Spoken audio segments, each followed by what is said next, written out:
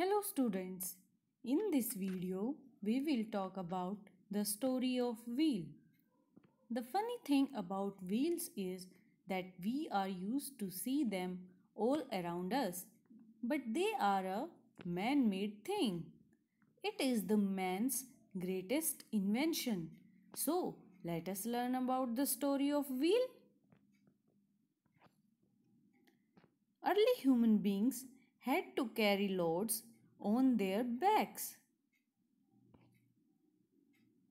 Later, they used sledges to pull the heavy loads. Before invention of wheel, people had to pull or push things along the ground. It was difficult to pull a sledge with the load. Then they started pulling sledges with the help of animals. One day, early man saw a round stone rolling down the hill. From this, he got the idea of wheel.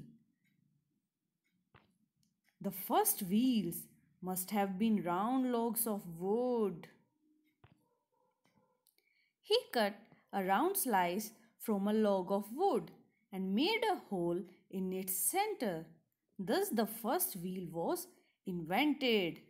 It made man's life very easy. First, the human beings used to travel by foot only.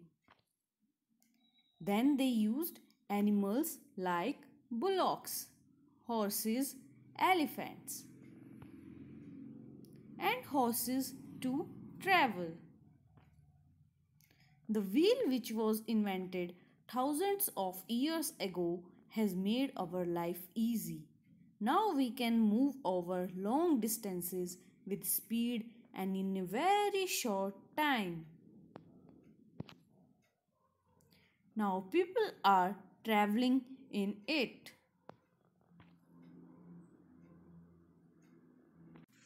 So students, can you imagine your life without a wheel?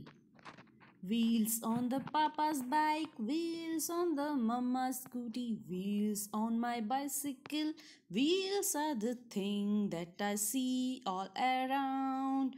Wheels are the things that I see all around. So, our life would have been very difficult if wheel was not invented.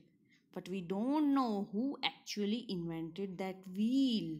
I hope you enjoyed the story of wheel. Thank you students.